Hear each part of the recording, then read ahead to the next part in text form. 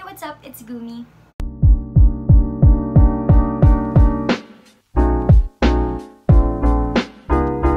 Hey guys, today's video is going to be a Shopee slash Lazada haul. So I'm going to be showing you guys the things that I bought online that I think have really helped me in my daily college routines, my daily college life.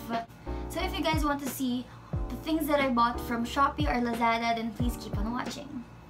Hi, so the first things I'm going to be showing you are the things na hindi naman talaga masyadong kailangan, hindi naman sila necessary, but I bought them anyway cause I was trying to reach yung minimum na spend for ano, free shipping. Dapat ko lang talagang bibilhin from Shopee is um, this phone stand. Kasi kailangan ko ng ayoko kasi maglagay ng pop socket or ng ng ring sa likod ng case ng phone ko kasi may times na ang hassle tas ang hirap hawakan ng phone. Tas minsan ayoko naman kasi ang medyo ang bulky. So I opted to buy this from Shopee. Lalagay ko na lang sa side na to yung prices nila. Pero um, ang minimum spend kasi is 200 para magkaroon ng ng free shipping. So this I think I bought for only 6 pesos or 8 pesos. Actually yung nakalagay dun sa sa mismong site, malaki daw siya. Pero medyo disappoint ako na maliit lang siya. Pero okay lang din naman kasi ayoko din naman na masyadong malaki. Kaya nga tayo bumili nito para maliit lang, di ba? Pero ayun, this is very necessary. Especially kunwari mag-aaral ako sa coffee shop. Kailangan ko nang maglalagay ng phone. Ang sobrang bilis nga dumating nung in-order ko na to. Kasi in-order ko siya nung isang gabi lang. As in, two nights ago. Kasi, ewan ko pa kung bakit sobrang bilis. Ang galing nga eh. So, yung iba mga after one week, pero ito after two days, my god. Okay, so, um, first case na I got is this yellow one um, for my phone. And then, this one as well, yung lavender. I got these two. Actually, dami ko lang ang cases eh, pero kasi nakita na ako sa kanya na nakita ko siya and then sobrang mura. Kasi lahat ng binili ko na ipapakita ko for this few, first few batches ay 223 lang lahat. I also got two more colors pero in different size naman. Uh, black and white na luggage type din. Hindi kita yung design. Ayan, na luggage type. These are for my boyfriend naman. Kasi I know he likes cases din. Actually, puro cases yung kasabay nung stand, yung phone stand na binili ko. I got this mirror na ano, na case. Nung una nga, nung, nung nakita ko, sabi ko, ha? Nung nakita ko yung packaging, sabi ko, mirror ba yan? Parang it's a joke. Pero, nung pinull out ko siya, sabi ko, ah, okay, mirror nga. Yan, it's no joke. You see yourself? Ayun, I'm using my phone, if you can see. So, sobrang cute lang niya kasi pwede ako magsalamin. And then, aesthetic lang niya.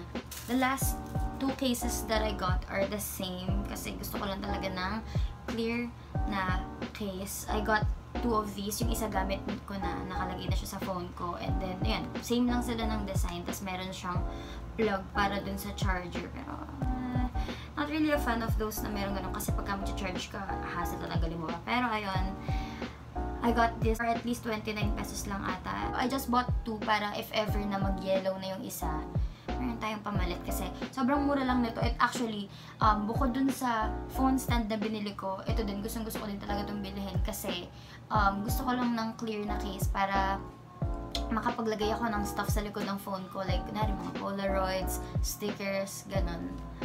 And what else?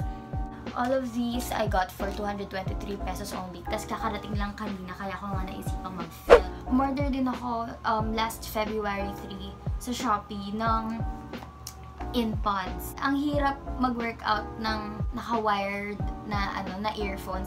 Ayokong bumili ng AirPods dahil parang sobrang mahal niya. Tapos, ako kasi yung tenga ko, medyo picky siya sa mga, bin, sa mga earphones. Ang earphones lang talaga na nagtatagal sa tenga ko is yung may mga hook kasi medyo maluwag siya sa tenga ko. I bought pink kasi ang cute din talaga nung pink na color. So, ito siya. Yung roommate ko, mayroon siyang AirPods. So, nakita ko, pinag-compare ko, ka-size niya, halos ka-size niya lang din talaga yung AirPods. I just bought this para kunwari habang nag-charge ako, makaka makakapanood pa rin ako ng mga pinapanood ko at saka makakapakinig pa rin ako ng music. Especially tuwing nag-aaral ako kasi nagpapamusic ako pagka nag-aaral. Ang hindi ko lang bet sa kanya yun ngayong sobrang, sobrang ano ng ilaw niya te. Like, Girl, nilabas, pulis ka te, girl. Tapos kitang-kita ka ng sambayan ng Pilipinas na umiilaw yung ganito mo. Pero, mawawala naman yung ilaw niya kapag ka nag-pair na siya sa phone mo. Pero ayun, parang, girl, kalmahan mo lang. Pero ito, Ayan, very convenient din siya. Ayoko lang bumili talaga ng earbuds because it's too much. I cannot. Ang convenient lang nito kasi yun nga, kapag ka gusto ko mag-charge, nagagamit ko siya. The next thing that I got naman is from Lazada. Um, it's this filed na pencil case. Actually, ever since first year ako, I've always wanted to buy one kasi um, napansin ko sobrang convenient niya, especially kung mag-aaral ka on the go or ano, nasa coffee shop. Kasi ang hirap ng yung yung nakahiga tapos hanapin mo pa. Ang gusto ko dito is, yun nga, bukod sa nakata nakatayo lang siya, um, easily mo makikita yung hinahanap mo na pen kasi nga, yan, nakapop lang siya. Like that, ganan very spacious siya. Tapos lahat ng mga kailangan ko, kayang-kaya niyang i-fit dito. I bought this for 395 pesos. Medyo pricey siya pero sobrang worth it naman kasi ayun nga magagamit ko siya for a long time. Girl, nakaraos tayo sa first semester ng second year college. We are in our second semester. Sana makaraos pa po tayo. Umabot pa yun third year. Third year? Third year? Oh, no, no, no, no.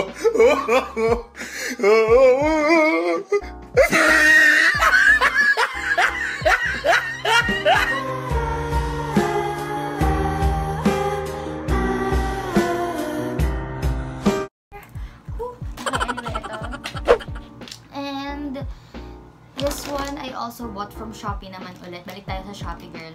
So, ito. Yan. Nabili ko tong mga highlighters na to first year college pa lang. Pero papakita ko na rin siya kasi hanggang ngayon, second year, mag magta third year na ako. Sana, sana.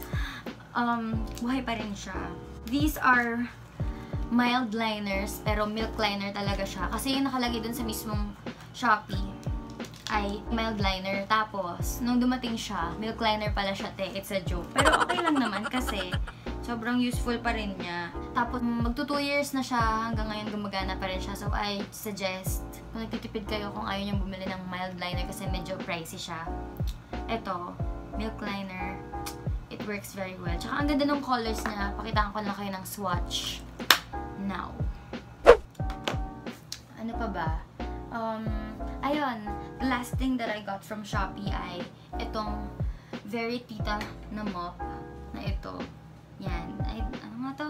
Magic Mop 360 kung ano mang tawag sa kanya. Pero, ayun, actually, kaya ako gusto talagang bumili ng mop na to kasi meron kami sa bahay ng almost the exact same mop. Ang difference lang nila is yung pang-dry. Etong nabili ko sa Shopee, um, nakadikit na talaga sa kanya yung pang-dry. Tapos yung binili naman ng yung nasa bahay namin is yung meron siyang parang timba. Pakita lang akong picture kung mahanap ko yung picture online. Pero yan, meron siyang timba na meron siyang pang-dry at saka meron doon yung nakalagay na yung solution. Pero ito, ang gusto ko lang dito is very convenient siya kasi meron siyang handle dito. Tapos kung gusto mong magpiga, mag-dry, ayan, dadaanan niya lang yung buong cloth. Tapos, pagka gusto mo lang siyang i-stand, ayan, iwanan mo lang siya dyan sa bottom. Tapos, iiwanan mo lang siya dun sa loob ng, ano, tapos nakatayo na siya. Hindi mo na, kahit hindi mo siya nasa nasandal, ayan o. Nakatayo lang siya like that. I bought this for like 200 pesos lang. Tapos, um, yung shipping fee is like mga siguro 245, 240 something yung nagastos ko all in all kasama na yung shipping fee. So, um, compared dun sa nasa bahay namin is 2,000 pesos kasi yun. 2,000 nila nabili. Kasi to 200 pesos lang. Mas convenient pa kasi hindi mo na kailangan palaging dala yung pang-dry. So guys, that is it for the things that I bought from Shopee and from Lazada. That is it. This is finally the end of this video. I hope you guys enjoyed this video. Thank you so much for watching. I hope nakatulong ako sa inyong mga, you know, mga needs. You did like it, please give it a thumbs up. Um, don't forget to subscribe to my channel for more videos. You guys can also follow me on all my social media, especially on my Instagram, so you'd be updated on my daily grinds. Okay, bye! Oh my god, bakit nagwawala yung roommate ko? Girl! Kalma ka lang dyan!